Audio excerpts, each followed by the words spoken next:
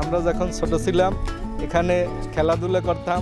ডান fun হয়তো এখন নদীর সাগরের পানি বাইরে যাইয়া আমাদের এখন ডান ফান হয় না। এখন আমরা তিন, চার বছর ধরে এই চাষাবাদ করতে করতে আছি। শাক, সবজি এগুলো করি ডান ফান হয় না।